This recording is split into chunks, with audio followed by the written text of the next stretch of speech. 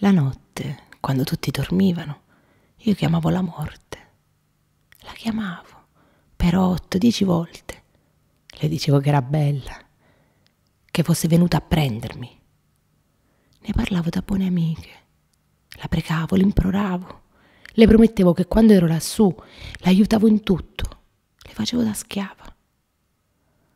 La dinoccolata, la scheletrita, la ladra, la spolpata consunta dai bachi. Non venne, non volle venire. È la morte che ha paura di me e non mi vuole.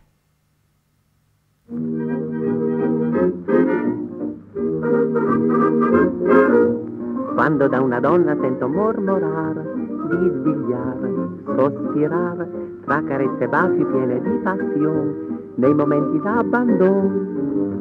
Caro per la vita sempre t'amerò, credi che lo giuro non ti tradirò, io con un sorriso dico a lei di sì, ma vorrei risponderle così. Oggi no, ma domani chissà quel che avverrà, qualcosa cambierà l'avvenire è un mistero.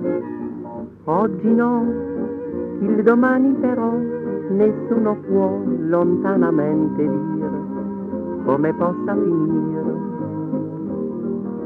È la vita un gioco, una continua lotteria, certezza alcuna non v'è.